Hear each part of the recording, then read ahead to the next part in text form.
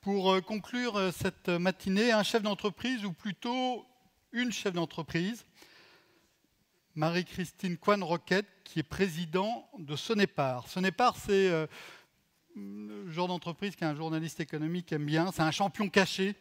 C'est un groupe familial indépendant, français, qui fait de la distribution de matériel électrique et puis de solutions depuis 50 ans. 48 000 salariés, 24 milliards d'euros de chiffre d'affaires, 170 marques, 3000 agences, présence très forte en Amérique du Nord. Très bel, très bel exemple, très belle réussite française. Et Marie-Christine Cohen-Roquette va maintenant nous, nous raconter euh, sa vision du monde des risques.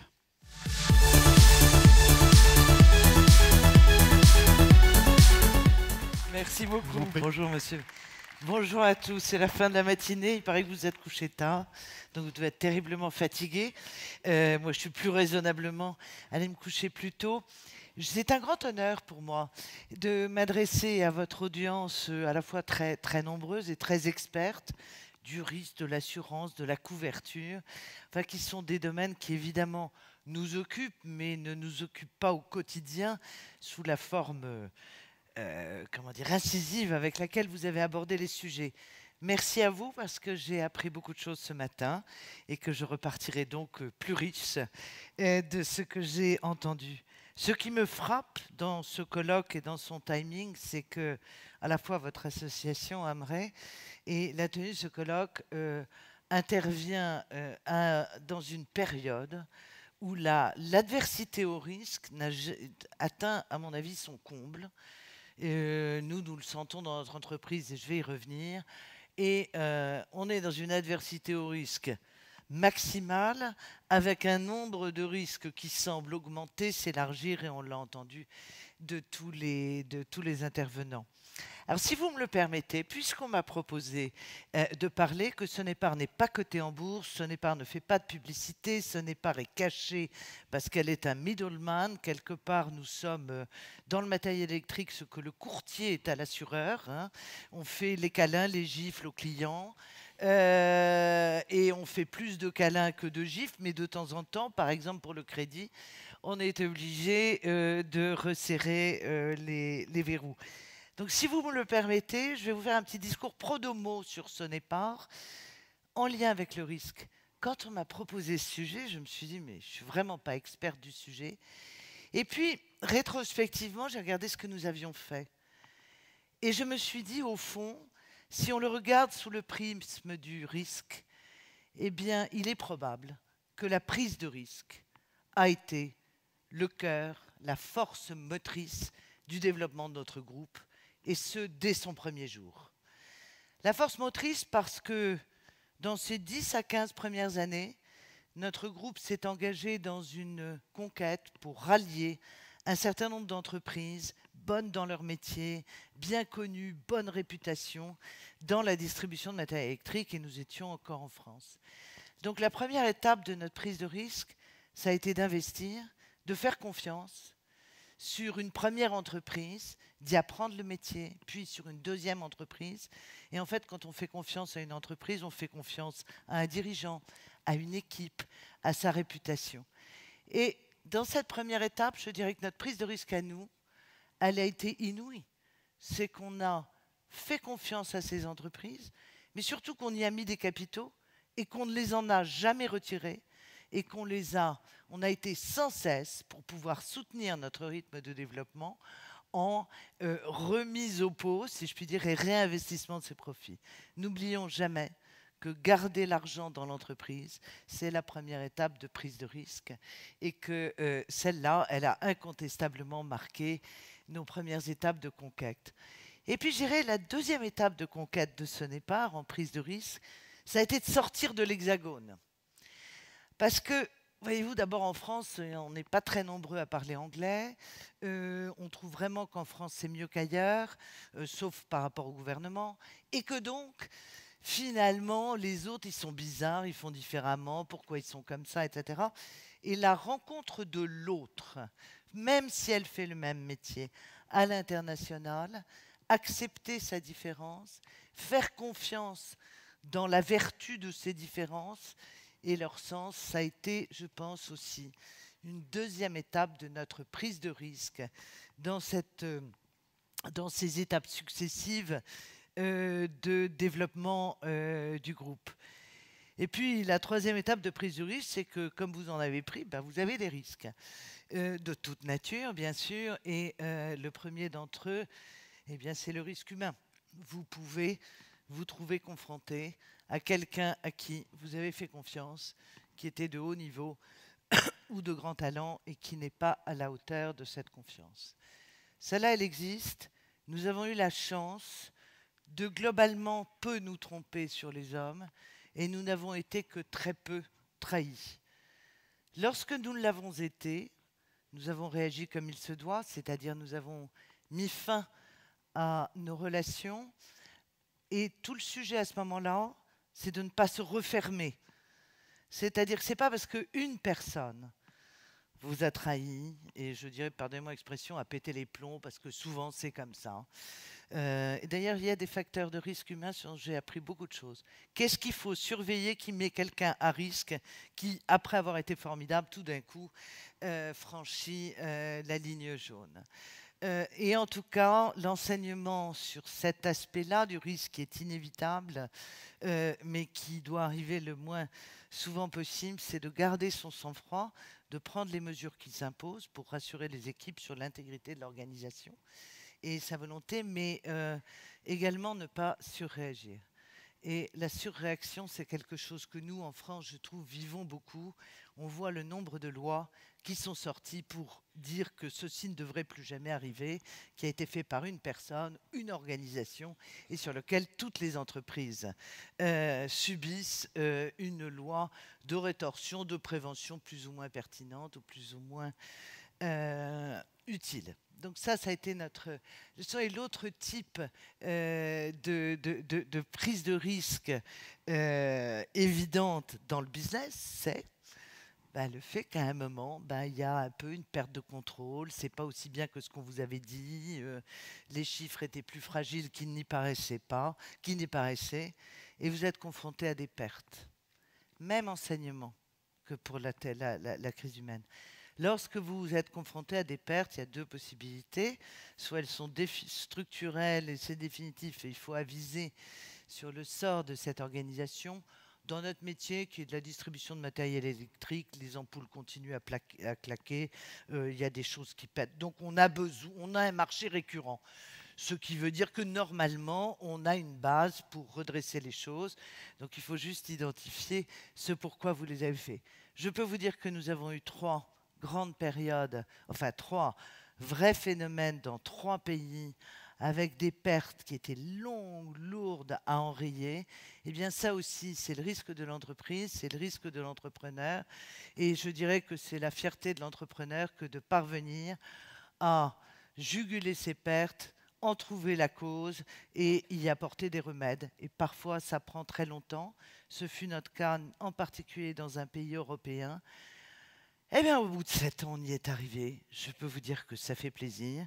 Et je peux vous dire que dans votre conseil d'administration, waouh, il faut regarder en disant, nous, on n'y croyait pas. Hein. Chapeau, vous y êtes arrivé. Et ça, c'est bon aussi que la prise de risque, qui effectivement se révèle, qui effectivement donne des pertes, puisse néanmoins, au fil du temps, être, euh. Mais donc, je vous parle de, de tous ces risques, j'allais dire très naturels, les basiques, comme on a beaucoup dit ce matin, rencontre l'entreprise, mais je pense qu'il ne faut jamais oublier, à un moment où nous sommes confrontés à tant de risques complémentaires, nouveaux, qui s'acharnent sur l'entreprise, que les premières prises de risque, elles sont autour de ça, que refuser la prise de risque, c'est à peu près la négation de l'entreprise. Donc je suis quelqu'un très engagé dans la prise de risque pas n'importe lequel, le risque calculé, mais la prise de risque, j'y crois beaucoup, sans laquelle il n'y a pas la vitalité et les forces, euh, les forces pour aller de l'avant, et en effet, après ça, des forces modératrices pour empêcher que ce risque ne soit létal. Parce que finalement, c'est ça le sujet. C'est est-ce qu'un risque, quels sont les risques que nos entreprises encourent, qui sont éventuellement mortels? Et c'est sur cela qu'il faut être particulièrement vigilant. Il y a une dernière catégorie de risque qui est le risque totalement improbable, parce que vous avez beaucoup parlé de prévention, et je partage, et nous nous y mettons. Mais le risque improbable, c'est celui qui vous tombe dessus alors que vous étiez la dernière personne ou situation ou entreprise qui pensait. Et je parle du risque de contrôle du système de prévention anticorruption organisé par la loi Sapin 2.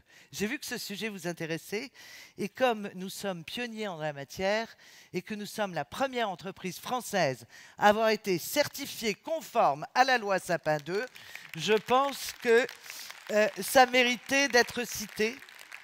Et je le classe dans les risques improbables parce que qui aurait pu penser qu'un groupe privé, familial, dont l'intégrité n'a jamais été démentie, qui n'avait jamais eu une procédure judiciaire, hormis quelques prud'hommes, euh, qui est, dont la valeur de transaction est de 370 euros par facture, donc qui traite des milliers de petits clients au jour le jour, on est des petits besogneux, qui euh, avons moins de 2% de notre chiffre d'affaires avec des pouvoirs publics ou avec des collectivités locales, qui sommes à l'international mais locaux, c'est-à-dire qu'on est dans plein de pays, mais on est locaux, on ne fait pas de grands contrats, on ne vend pas de gros avions, on a des tout petits. Donc, toute la structure de notre métier, rien ne nous prédestinait à être les élus de la première salve des contrôles de la fin. Donc il était particulièrement improbable.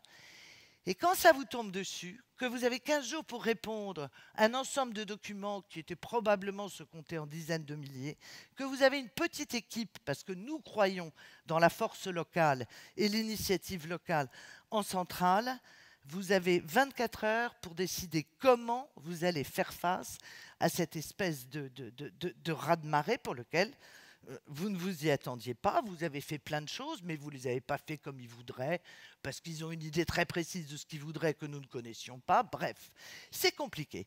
Et, euh, et, là, je dirais que sur le risque de l'improbable, on peut parler toute la prévention qu'on veut. Aujourd'hui, vous pouvez être préparé parce qu'il y a un petit peu de précédent, il y a un petit peu de doctrine, il y a les témoignages que nous avons faits, et puis il y a des tas d'autres sujets que le risque anticorruption et un peu. Mais l'improbable, c'est lorsque vous êtes vraiment complètement hors champ, que ça vous tombe dessus, et qu'assez légitimement, vous pouviez ne pas juger que vous seriez les premiers à être contrôlés.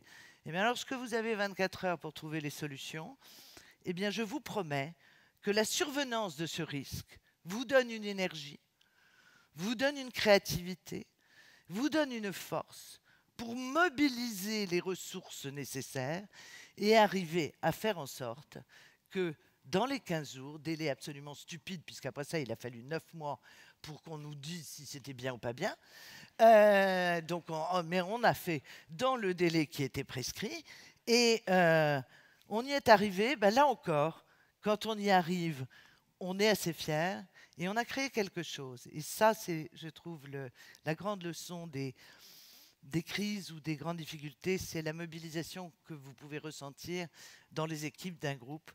Et là, nous avons eu une mobilisation et une solidarité.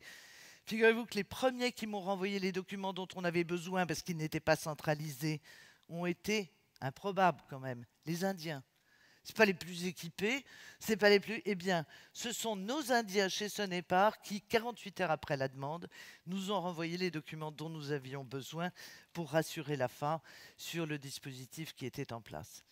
Donc, juste pour vous dire, il y a, je pense, dans l'entreprise le risque naturel et le devoir de prendre des risques, certes des risques calculés, euh, mais que c'est aussi une force motrice et que même sur ces risques que nous n'avons pas pu euh, nécessairement anticipé, sûrement à tort. Alors je dois dire qu'une autre leçon, c'est que maintenant nous considérons au niveau du risque que tout peut nous arriver. On pensait qu'on était discret, pas coté, qu'on échappait à toute une série de choses qui euh, sont très ciblées sur les entreprises plus visibles. On a vu que ça y est. Alors, à la fois, on est très fiers parce qu'on est rentré dans le club des grands. Euh, en même temps, nous, notre métier, c'est de vendre du matériel électrique. C'est d'aider nos clients, c'est de faciliter leur vie, ça n'est pas euh, de rentrer dans un système strictement processuel. Néanmoins, on a compris ça et partant de là, nous sommes dans une attitude, et François Baume, que vous connaissez bien et qui nous a euh, rejoint, euh, contribue fortement avec l'équipe que nous avons renforcée, à arriver à combiner l'ensemble des actions de prévention de ces risques par leur identification et puis par euh, les mesures et les processus, étant entendu que euh, mon job dans cette, euh, cette avancée, c'est de s'assurer que nous restons preneurs de risques, mais dans un calcul de risque et dans des modalités qui sont en prise de risque acceptable. Et quand vous avez un groupe qui a des valeurs très fortes, où les gens sont très attachés à notre intégrité, où les gens veulent absolument tout le bien pour l'entreprise, mais ne voient pas tout, je vois cette fonction des risques au sein de ce n'est pas formidablement bienvenue comme étant le centre d'excellence, le centre de compétences, le centre de connaissances qui permet de former, d'informer et d'apporter des réponses et du soutien euh, à nos équipes là où se déroulent euh, euh, leurs activités. Alors, ce qui est certain, c'est que aujourd'hui, moi, j'ai fait une petite liste, je suis obligée de la consulter parce qu'il y en a quand même beaucoup. il y avait des risques classiques dont je vous ai globalement parlé et qui sont les risques de l'entreprise. Et si on ne les accepte pas, il faut faire autre chose. et puis, il y a tous ces risques nouveaux. Moi, ce qui me frappe, c'est que l'entreprise aujourd'hui peut être liée à une certaine euh, défaillance des États dans la réponse aux attentes des gens. Nous sommes l'objet de toutes les attentes. Donc nous devons répondre absolument à tout. D'abord, on doit être extrêmement vertueux. Alors, il y a des attaques sur la vertu de personnes publiques, mais l'entreprise, elle doit être totalement vertueuse et c'est euh, absolument essentiel. L'entreprise doit être euh, celle qui apporte à l'ensemble des collaborateurs le meilleur cocooning. Moi, je suis pour la considération des collaborateurs et j'estime que le respect vis-à-vis des équipes et la qualité de leur travail et leur épanouissement est absolument fondamental. Mais entre ça et le cocooning qu'on attend de nous, où d'un côté on nous reproche de supprimer des emplois et de l'autre on nous dit que l'emploi est pénible et qu'il faudrait un peu plus d'harmonie, enfin, on est quand même l'objet aujourd'hui, euh, on est au cœur de toutes les attentes, toutes les injonctions euh, paradoxales, voire même parfois euh, contradictoires. Et il faut le prendre en compte, car pour moi, c'est un risque transverse, diffus, permanent euh, de gestion de, de l'entreprise les data, vous avez un peu parlé de cybersécurité, c'est extraordinaire les data.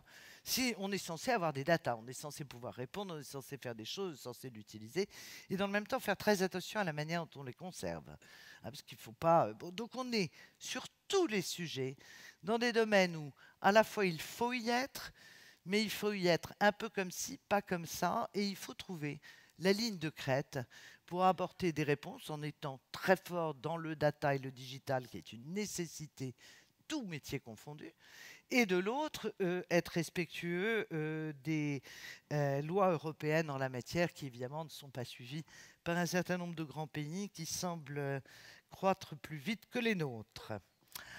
Ensuite, deuxième typologie de risque qui m'impressionne, et Monsieur Vittori, je crois que je dépasse mon temps, donc vous m'arrêtez hein, si vous voulez. Je ne suis, pas, je suis pas du tout susceptible, mais un peu passionné.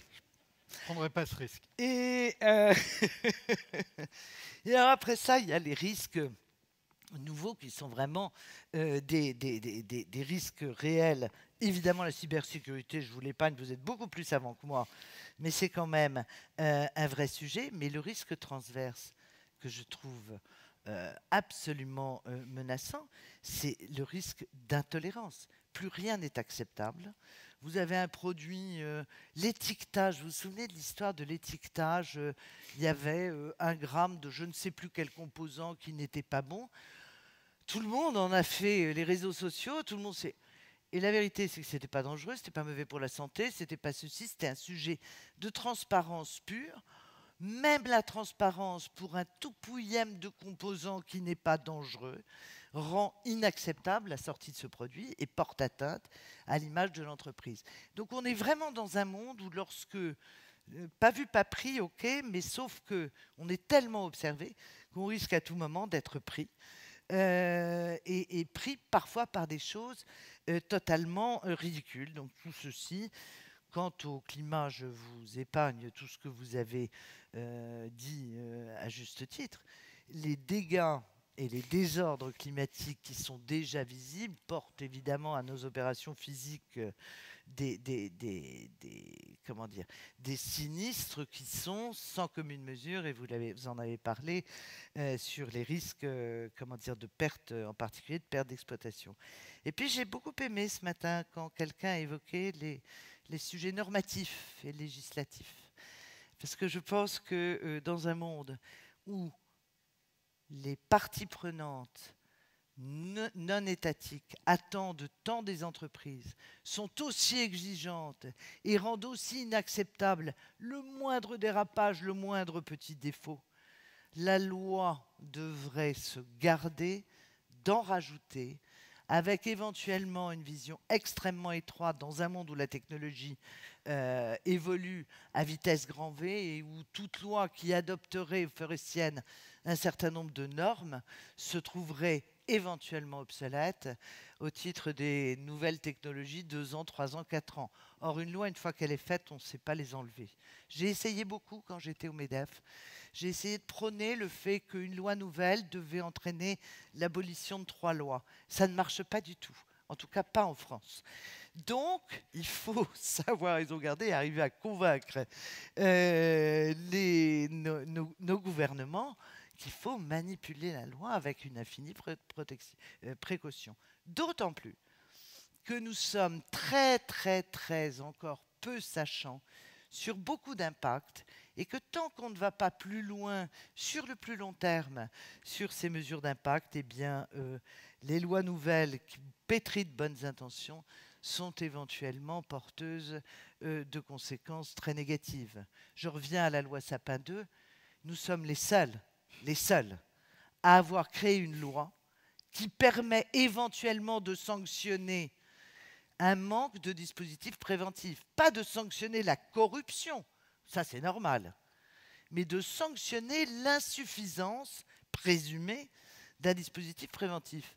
En soi, c'est pas grave, les sanctions sont pas lourdes et personne ne va en prison. Donc, euh, mais, mais, mais, le fait d'avoir été sanctionné au titre d'un dispositif de prévention étant une mesure inconnue en Europe, en dehors de la France, bien sûr inconnue aux États-Unis et inconnue en Angleterre, eh cette sanction sera assimilée pour les entreprises qui feront l'objet de sanctions à un fait de corruption.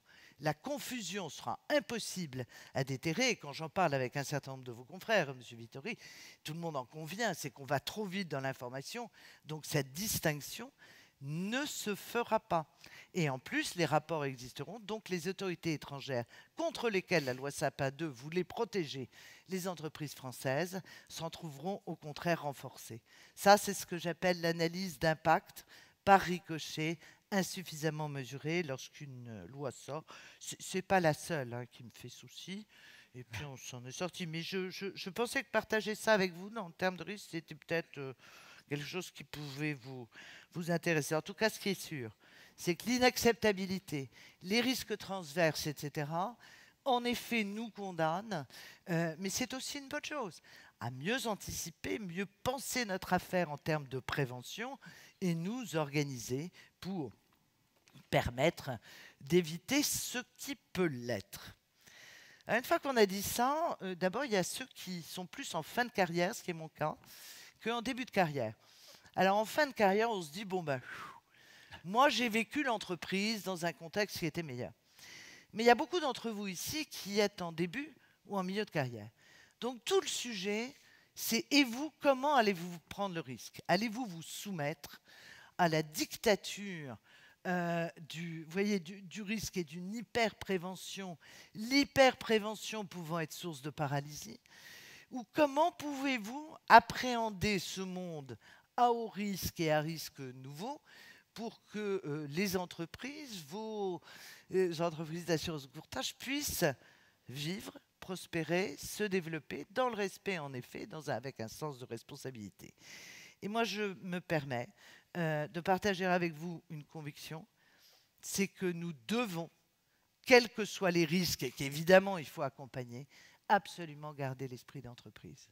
Si on ne garde pas l'esprit d'entreprise, qui par construction est l'acceptation d'une prise de risque, eh bien nous ferons progressivement s'éteindre notre monde. Et avec l'esprit d'entreprise, eh bien clairement, il y a l'esprit de confiance si on ne fait pas confiance, à pas n'importe quelle confiance, pas aveugle, une confiance qui est contrôlée, etc., si on ne continue pas sur ces deux leviers, qu'on ne les fait pas siens, je ne vois pas comment l'entreprise, quelle qu'elle soit à nouveau, pourra euh, prospérer. J'ai envie de dire, sachons aussi ce que l'on fait bien. Beaucoup, à chaque fois qu'on a un problème, tous, on regarde à fond. Qu'est-ce qui s'est passé? On remonte, on dissèque. Ouais, c'est bien, il faut le faire.